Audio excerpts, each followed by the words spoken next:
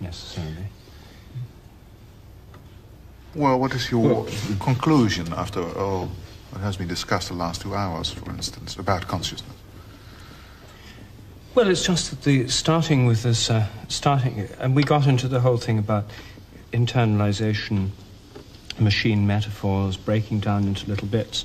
And my feeling is, you see, that there's a that we're leaving huge things out of the puzzle. They may or may not be related to these, uh, the magic tissue or wonder tissue of quantum theory, which I, I liked very much what you said, Freeman, about, you know, Dan may not want it in biology, but physicists deal with it all the time.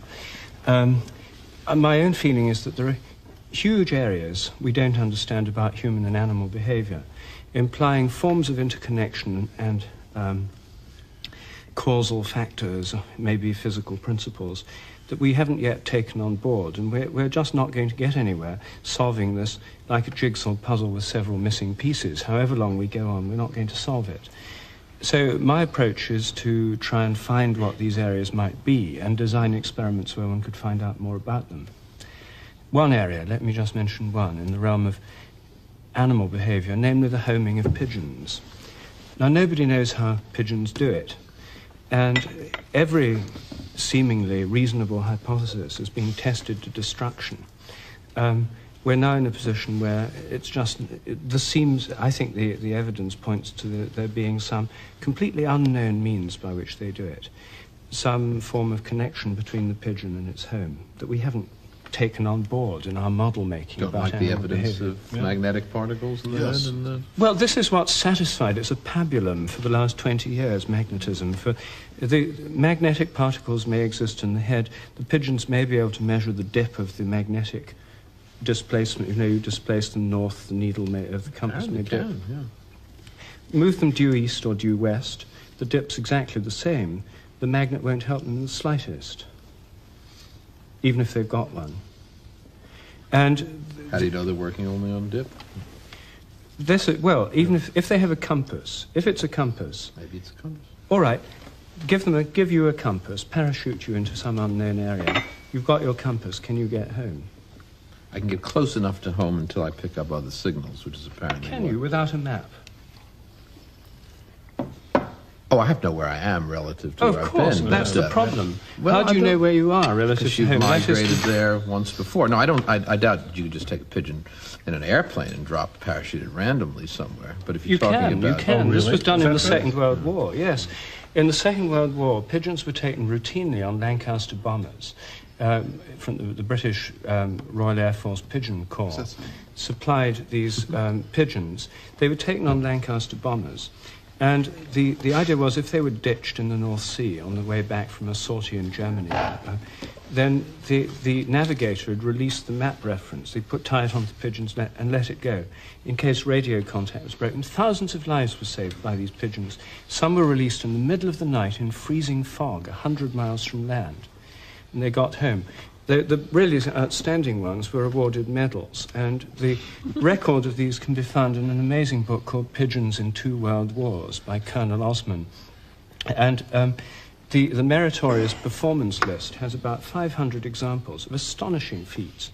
They were literally dropped out of planes in the middle of the night, sometimes in the middle of the winter, in freezing fog, and they got home the next morning, and lives were saved. Suppose that you had a very simple strategy, that you flip a coin and you either uh, fly due west or due east until you hit land. And, and uh, so half of them then will, will, will, will come would come west and would, would, would arrive at England, and the other half would arrive in the Netherlands. You have to record the ones that don't make it, which these But the, Yes, and the point is- they do. They, they, they, first of all, they observe the vanishing direction. They The point is, the ones that make it get the medals, and the other ones you forget about.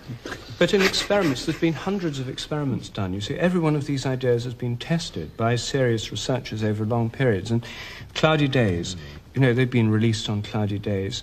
They've been released with their time clock shifted six hours or 12 hours by keeping them in artificially displaced day lengths for weeks. All these pigeons can home. They can home with magnets strapped on their wings or with Helmholtz coil, coils over their heads. Um, With blindfolds on? Yes, co- frosted glass contact lenses. They've been released up to 200 miles away and they flop down within a quarter of a mile of the loft. Many of them uh, collide with telegraph poles near the loft, but they, most of them get home to the home regions.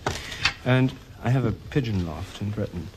And the, the key experiment, you see, all these theories, you know, they see landmarks, the frosted glass contact lenses rule it out, the cloudy days, the time shift, the magnets on their wings, the, every one of these seemingly reasonably remember the way out on the, on, on the journey. That's been tested with pigeons anesthetized, taken in rotating drums by incredibly devious routes. when they come round, you release them, they fly straight home. Well, all these theories have been tested. There's been years of research. Is there, is there... Yes, they've had their nostrils blocked up with wax. They get home. They've had uh, confusing smells like turpentine put on their beaks. They get home. And just in case that doesn't work, they've had their olfactory nerves severed. Anosmic pigeons.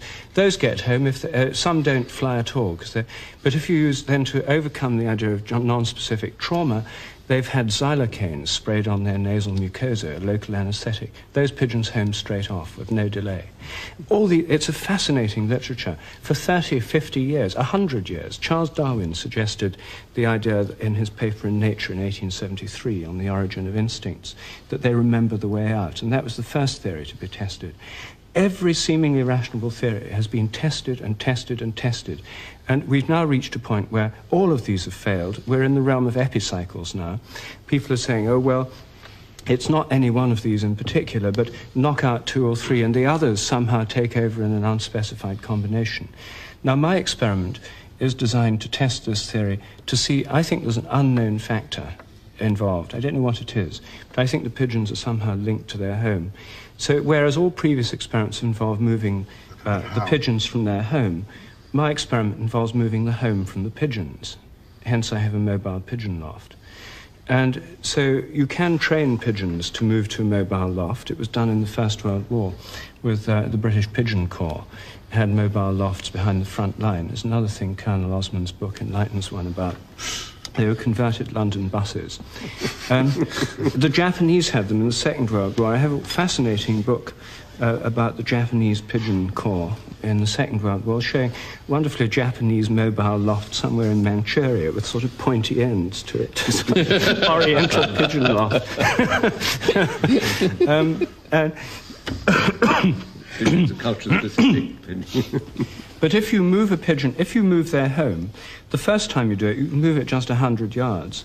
And the pigeons are totally confused. They're, even though they can see the loft, they fly around the place where it was for several hours before a brave one goes in, just as we would if we went home and found our home had moved 100 yards down the street. We wouldn't just I'd open the door. yes. Under any circumstances. but after a while, after you've done this three or four times, you can get them to home. Now, I've mm. trained these pigeons up to the point where they can, the loft can be moved four or five miles, and uh, you, you go back, you take them out, put them in a box, you tow the loft away, you go back to the first point, you re- open the box, release the pigeons, drive back to see when they arrive, and they're sitting on the roof.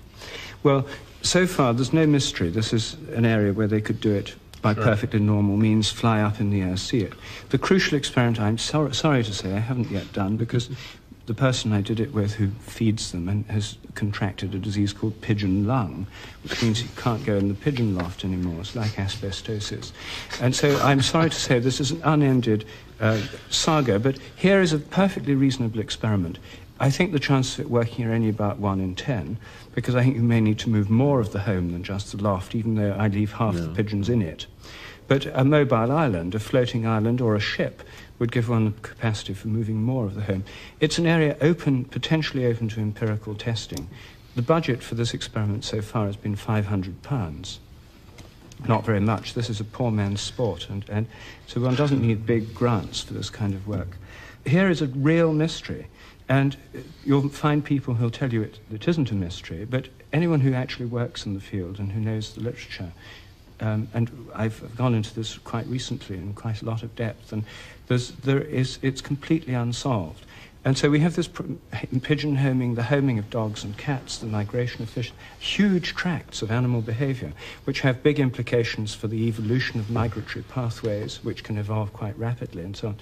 Large areas are unsolved, and these could have a great deal of relevance to the understanding of faculties of various kinds that we haven't taken into account. This is one example. I have quite a number of others. Um,